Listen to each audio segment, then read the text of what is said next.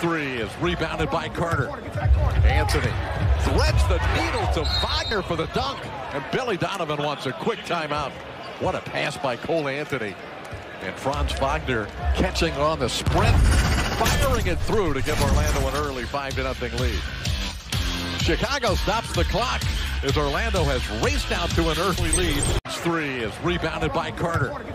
Anthony threads the needle to Wagner for the dunk. And Billy Donovan wants a quick timeout. What a pass by Cole Anthony. And Franz Wagner catching on the sprint, firing it through to give Orlando an early 5 to nothing lead. Chicago stops the clock as Orlando has raced out to an early lead.